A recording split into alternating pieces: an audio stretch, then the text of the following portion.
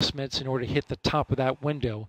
No slip yet, but we're monitoring their work and we'll give you an update when we have it. Back to you, Megan. Thank you,